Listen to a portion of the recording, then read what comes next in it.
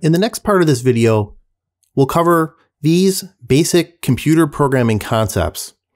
All of these concepts are core foundational ideas you'll need to learn as you begin to do more computer programming. Now, one of the most basic and foundational ideas in computer programming are variables and comments. Variables are containers for representing values. For example, you see a variable here called map name that has been assigned the value my map. Comments are little notes that you make to yourself so that you understand the code and so that others can understand it after you. In this example, you see a comment that begins with the pound sign character and shown in red, indicating the data type. Now, a little bit more on data types. Variables can be of a variety of different data types, such as a string or a number. And these are actually concepts you're probably familiar with, and I'll demonstrate in just a moment when we look at variables, comments, and data types in ArcGIS Pro. All right, so let me show you a little bit about variables and data types. Now, data types is something you're probably already familiar with, whether you know it or not, in terms of computer programming concepts. Data types are what you have in attribute tables. So for example, if I look at this attribute table of this feature class called Mafrock Buildings, and I click on to add a new layer, you can see here the different data types of these fields, right? So when you create a new field, and we'll do this later in the video when we do some other programming, we have to set a data type. Most of these are texts. Some of them are doubles, some are geometries and so forth. It's the exact same idea with variable types. So with that in mind,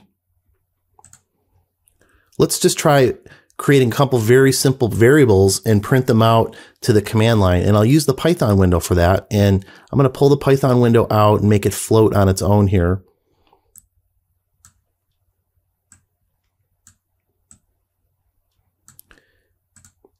And so one of the classic things in any computer programming language is to write a hello world. So my very first variable, I'll make it H-E-L-L-O. And I'll make this a string variable. So the name of the variable is hello world and it's going to be equal to or the assignment. And I'm going to make it a string or using terminology from attribute tables, a text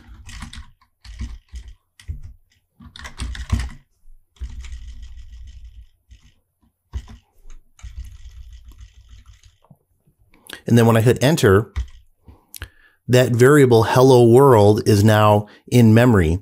And then if I type a print statement, which is a built-in Python function,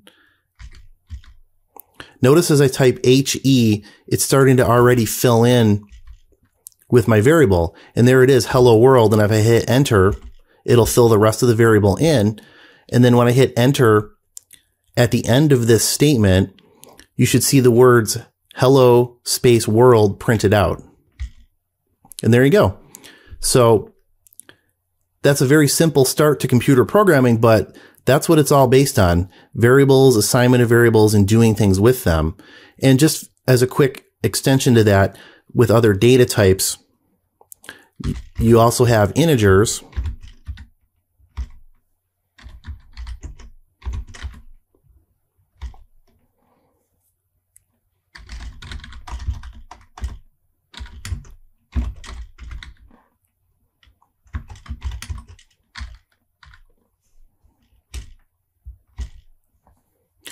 And if I want to print the result of that out,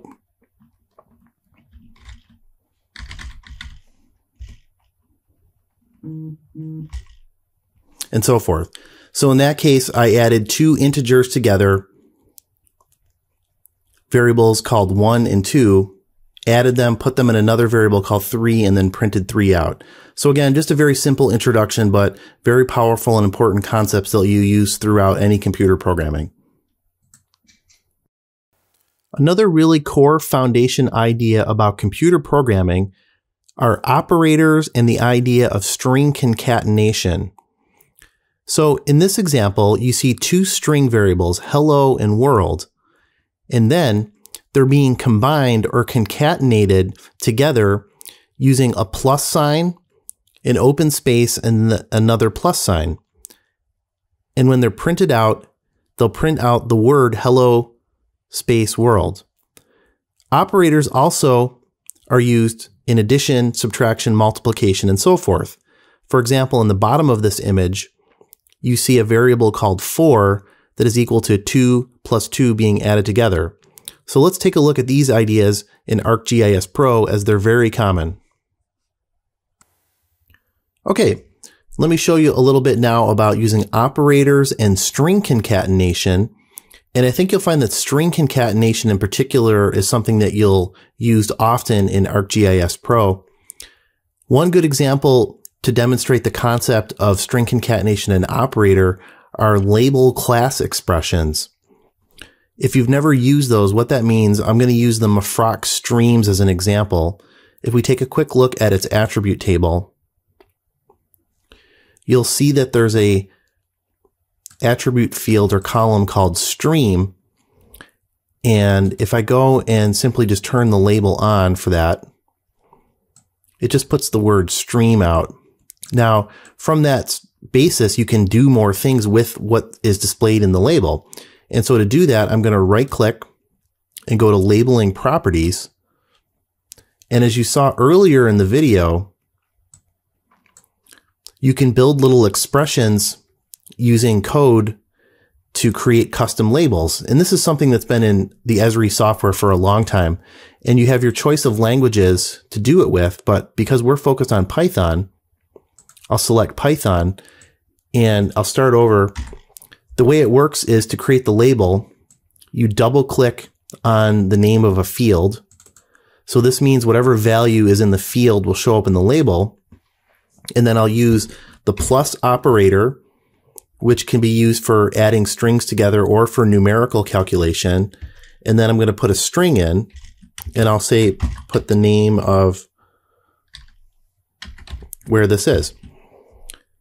And so you have a very simple but powerful idea of taking the value of an attribute field and then combining it with whatever string you want. And you always want to click the verify button to make sure it works. So far, so good. And then apply. And if you look, now my label has the value of the field. And in this case, they're all actually just called stream because um, this is how the OpenStreetMap data this comes from puts it together, and then Mifroc. Now, if we look, we also have other attribute fields that we could combine together. So in some case where it says tunnel culvert, we could use string concatenation again. So in this case, whatever the value of waterway, tunnel, and then the word Mifroc. And I might, for example, put a space between those values to build a little bit more of a complicated legend.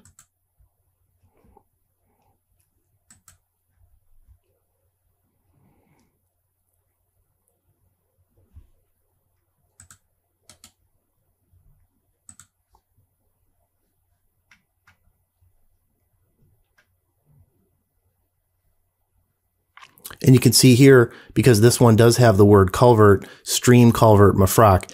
Now, later in the video, I'll show you about what are called conditional statements, where you can first take a look at what the value of something is or is not to determine if the value is displayed. And real quick, just to show you if you make a little error, for example, let's say, for example, I forget to put a plus sign in there and then I hit to verify you'll see that I get red text and an error, invalid syntax. Now, this will take a little experience to try to figure out what exactly happened here, but just remember with your operators to have them in there. So attribute field plus a blank space plus another attribute field plus another string. And I hit verify and it's all good. Now let me show you another quick example of using an operator in the field calculator. If I go to this attribute table, this is for the buildings.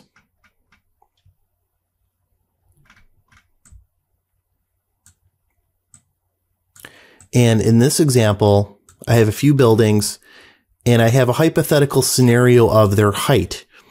And I'm sort of pretending that this is the height of the building in metric, in meters. And let's say I want to then convert that value from metric to English units. And that's a simple calculation. And let's show you how you can do that. So in this example, what I'm going to do is I'm going to add a new field.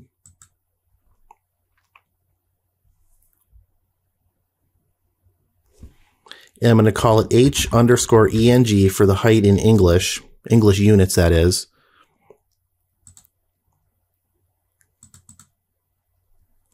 And just like we learned earlier in the video, we'll use a data type. We'll make it a float.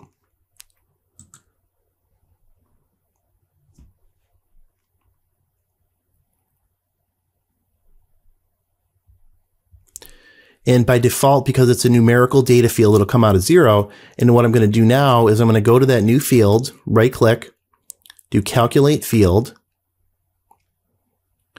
And now I'm going to use a multiplication operator. And this is a very common thing you do with field calculator. Again, using Python. Now, again, in this case, you've only got two languages. I'm going to use Python because that's what I want to learn about in general. And I'm going to set it where the value of the h underscore en or height English is going to be equal to whatever the value of height. And here comes my operator. I'm going to use star for multiplication and I'm going to multiply it by 3.28 because there's 3.28 feet to a meter. So what it's going to do, it's going to go through every value and multiply that by 3.28. Now with this data set, it might not always work because of zeros and so forth, but I think you'll get the general idea here. So when I hit the apply button, well, actually I can do, um, I can verify this as well. Just like with the label class. It's always good to do a, a verify. Now I'll hit apply. And you can see, because I used the multiplication operator, and my value 3.28, 4 times 3.28, 3 times 3.28, and so forth. And I now have these values that have been automatically calculated. So those are examples of basic uses of operators and string concatenation. But I think you'll find that if you master even those most basic concepts, you'll wind up using them quite a lot and they'll give you a good starting point to learning about more advanced concepts in computer programming in general that I'll talk about next.